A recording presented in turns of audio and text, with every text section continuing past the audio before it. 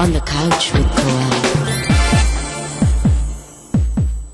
A man who is sometimes contradictory, often controversial, and always courageous. General Pervez Musharraf.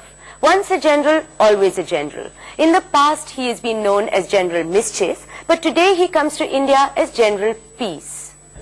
General Musharraf, I am delighted to have you on the couch with me today. Thank Thank you. Thank you. Firstly, I must commend you. You're a very brave man to come to India at a tense time like this and expose yourself to hostility. What does it make you feel like when you're regarded as the enemy?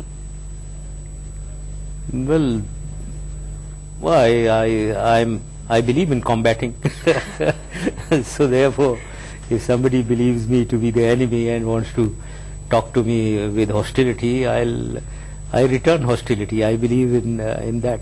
Were you ever scared when you were sitting on the podium while making your speech that a bullet or at the very least a shoe might be hurled at you or something like that? Did that ever cross your mind? No, never, never, never. I think uh, I expect the Indian intelligentsia to be polite enough not to do such things. Of course, and we're delighted that you came in, but, but your own daughter warned you not to go, didn't Yes, she? What she did she say? She was scared. I think she she was just scared. Why are you going? I mean, uh, isn't it dangerous with all that has happened in Bombay and then in Lahore? Uh, But I you had a standing ovation at the India Today conclave, which just goes to show that your your decision paid off. Yes, I think uh, with hindsight, I think I took the right decision to have come. And thanks also to India Today conclave.